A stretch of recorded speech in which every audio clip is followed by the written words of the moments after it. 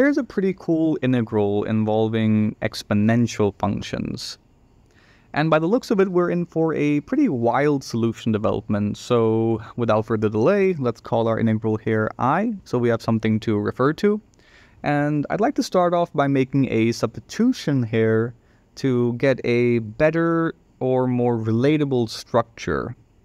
So the substitution I'm talking about is letting e to the x equal t. Now this implies that e to the x dx equals dt, and it also implies that x equals the natural logarithm of t.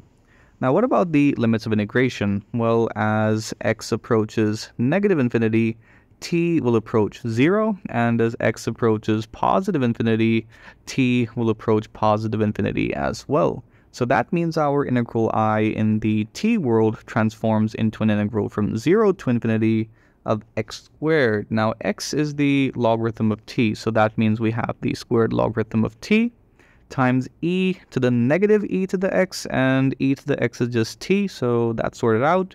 And we can expand this term here as e to the x times e to the x dx, where this e to the x dx term is our differential element, and this e to the x term left out is just the t variable.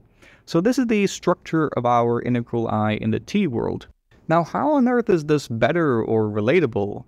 Well, the relatable part is pretty neat. So recall one of my favorite tools here, the gamma function. Now, gamma x equals the integral from 0 to infinity of t to the x minus 1 times e to the negative t dt.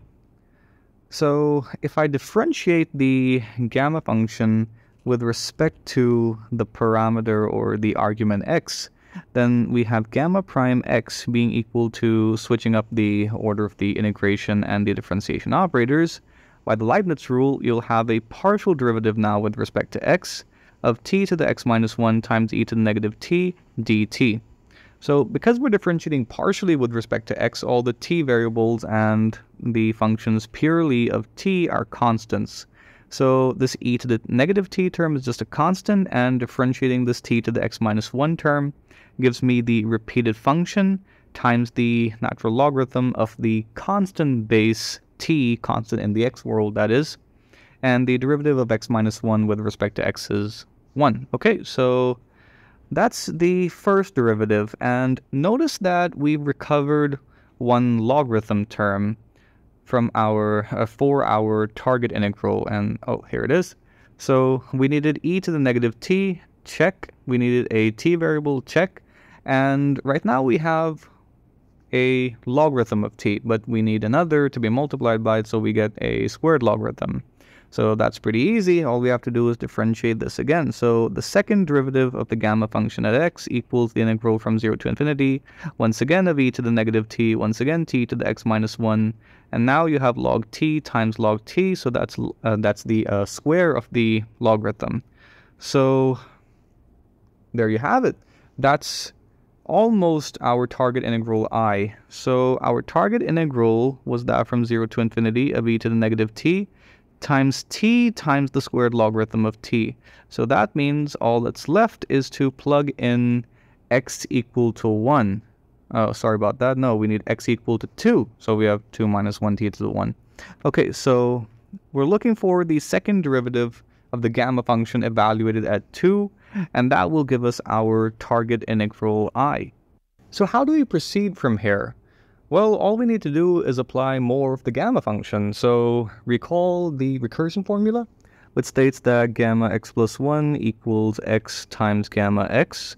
So if we differentiate this with respect to x, we have gamma prime x plus 1 being equal to x times gamma prime x plus gamma x and differentiate this one more time so that you have the second derivative at x plus 1 and this equals x times the second derivative at x plus the first derivative at x and differentiate this and you get once again the first derivative at x. So just add them up and you get twice the first derivative. Okay, cool. So this is a really nice relation in the sense that it relates the second derivatives at x and x plus 1. So if you plug in x equal to 1, then we have second derivative at 2 being equal to second derivative at 1 plus 2 times the first derivative at 1. And we derived the expression for the first derivative at x earlier in the video. So all I have to do is plug in x equal to 1, and I have the integral from 0 to infinity of e to the negative t times t to the 0, which is a 1, and I have log t dt. Now this here is an integral representation of the Euler-Mascheroni constant. It's negative anyway, so gamma prime 1 equals negative Euler-Mascheroni constant.